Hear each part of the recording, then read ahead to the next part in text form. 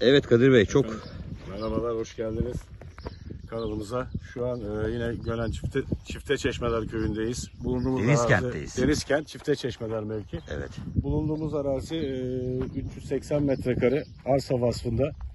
Hepsinde bugün yaptığımız çekimlerindeki gibi hepsi 2,5 kat. %40 imarlı.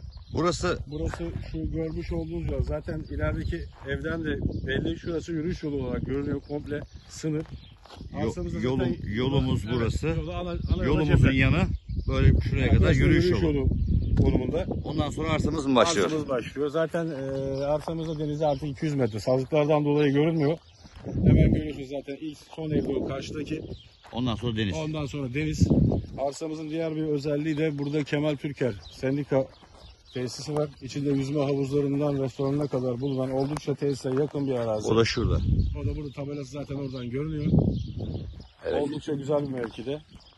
Ee, bugün çektiklerimiz içerisinde en değerlisi, en güzeli diyebilirim. Konum olarak, yer olarak oldukça güzel. Hem metrekare olarak da diğer e, şeylere Şey- göre daha büyük. Şu karşıda Karşıda spor sahası yani spor park sahası alanı, olarak park olana park alanı- park basketbol alanı, sahası basketbol olarak sahası ayrılmış. ayrılmış. Yol, su, elektrik. Önünde yürüyüş yolu. Yürüyüş yolları Ondan sonra arsa başlıyor. Burada da arkamızda da bir projemi var. Evet. Bu projede Kadir ne bu proje? Gösterelim bunu da. Ve özel bakım. Huzur ve özel bakım evlerine ait bir arazi. Buraya da Aynen. onlar. Zaten konum olarak da arsa köşe parça olarak kalıyor. Hemen bu çitin yanından da ayrı bir yol var. Denize doğru inen bir yol var efendim. Bir de köşe parçası. Bunu da şuradan da bir de yol geçiyor oradan yine. da bir yol Denize geçiyor. gidiyor. Denize gidiyor. Arsamız çok özelliklere sahip. Çok özelliklere sahip. Ee, dediğim gibi az önce bugün çifte çeşmeler mevkini çektik. Bu bulunduğumuz arazi hem konum olarak hem büyüklük olarak hem yer olarak oldukça Bu güzel. 380 metrekare. Bu 380 metre diğerlerinden daha büyük.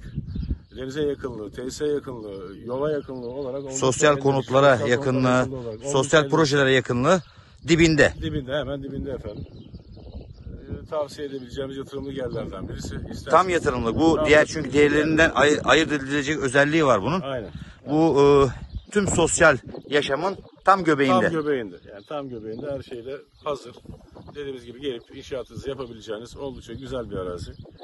Efendim bizi izlediğiniz için teşekkür ederiz. Yatırımlık için almak Yatırım isteyenler de için her bunu zaman- bunu tavsiye edebiliriz değil mi Kadir? tavsiye ediyoruz. Zaten Çifte Çeşme Deniz Kenti her zaman yatırım için de rahat rahat alabileceğiniz. Üstelik Denizkent oksijeni en bol. Türkiye'de de ilk beşteyiz. İlk beşteyiz. Türkiye'de ilk beşteyiz. Deniz Kenti'nin o avantajı var. Astım hastaları için özellikle tavsiye edilen Astım bir yer. hastalıkları için diyorsun. Özellikle tavsiye edilen bir yer.